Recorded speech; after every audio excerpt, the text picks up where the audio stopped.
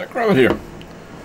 Well, in the previous video we kind of set up the reading infrastructure for the disk and now um, we want to see what kind of method could be used to extract the track magnetic pattern bits. So let's have a look at some options.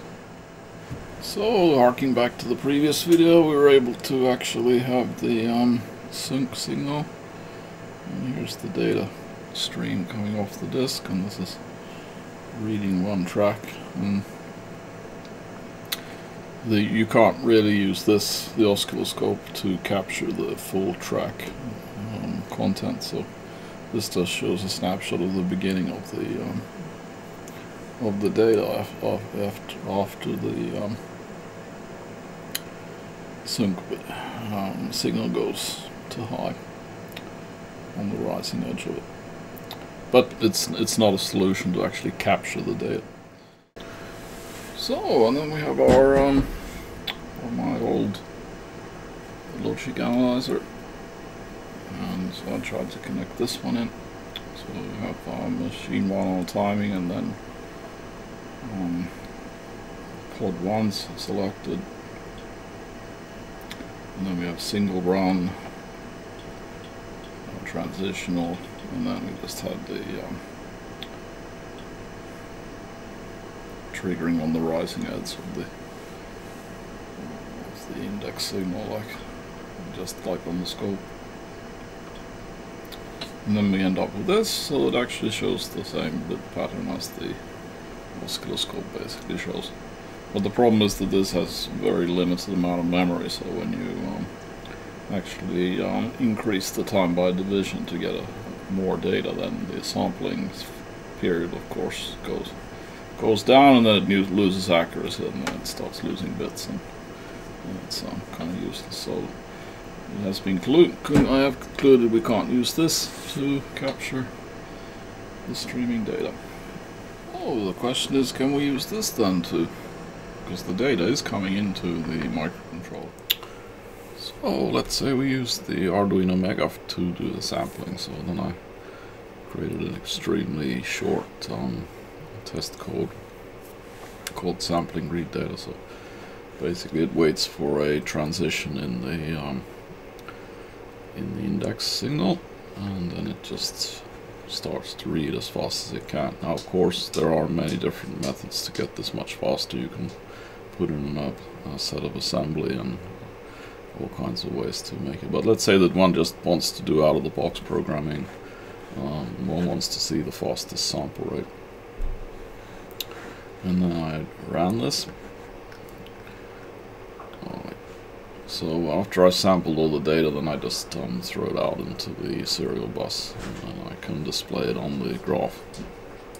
So anyway, here we see the signal as captured on the graph, and then if I run it again, and we get that kind of a curve and then a curve so this is indicative that um, there's like timing delay when it the, it, it um, identifies the index change towards when it's going to actually start capturing the data. Well, this is a fluke. And again. So I mean the the problem is with this data is that um, I would like to see a minimum of two captured um, state points per signal. Because in, in when you have only one then it's kind of like you know if it samples there and there and there and, and there then you know is it missing signals? Uh, you know, it's it, it's yeah it's it's hasn't got a high enough sampling rate in my opinion so obviously there would be other solutions to solve this. One could go to a faster microcontroller where you can actually increase the sampling intensity. Or we could look into other solutions. So anyway, moving on, so I switched to a new logic analyzer. USB based. I made a video about this if you want to see it go take a look at.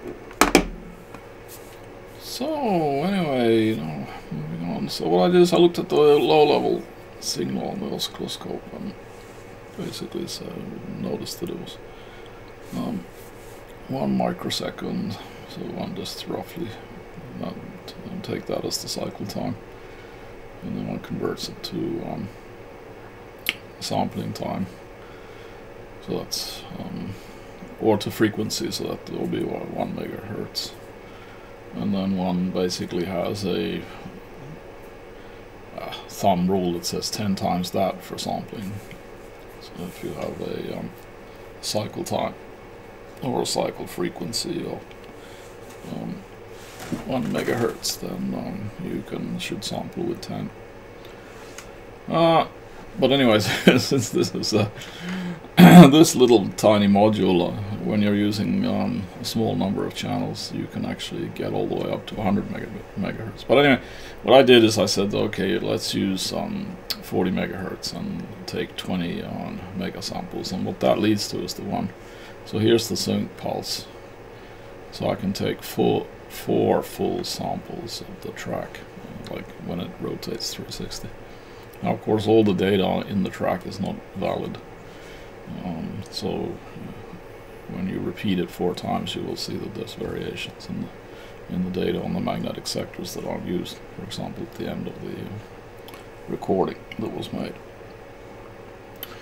But anyway, if we um, zoom into one of these.